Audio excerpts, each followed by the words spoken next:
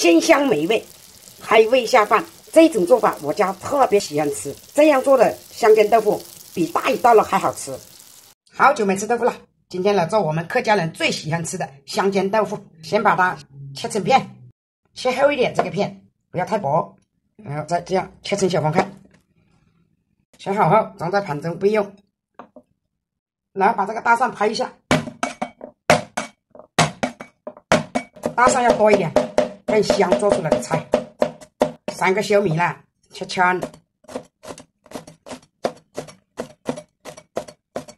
调个料汁，这是酥的白芝麻，一勺淀粉，适量的盐，两勺生抽，蚝油，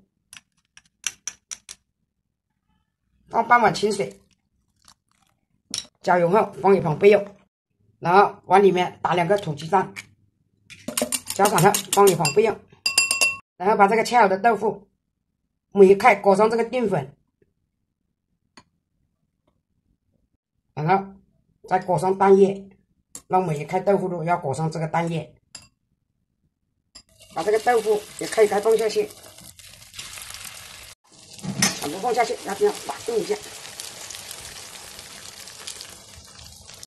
然后用小火慢慢煎，这边煎到了就反过这面煎一下。如果喜欢本期视频，点个赞，鼓励一下吧。你也可以点击我的头像，刚看以前的视频，要翻过两面煎，煎的像这个金黄色，哇，好漂亮啊！做豆腐很多种的做法，我家特别喜欢吃豆腐。不管你怎么样做，我家都非常喜欢吃豆腐的。朋友们，你们喜欢吃豆腐吗？这样慢慢煎，用小火慢慢煎，不要用大火哦。像这个。现在两面都金黄了就可以了，哇，好香啊！等到把这个灵魂料汁加进来，然后加点葱花进来。朋友们，你们想吃吗？哇，太香了，看到流口水了。好了，出锅装盘。哇，太香了，香煎豆腐做好了。这样做的香煎豆腐，比大鱼大肉还好吃，真的，我家一个星期吃六次都吃不腻。小孩子特别喜欢吃，没皮没骨。这种做法你学会了吗？不会记得来找我哈。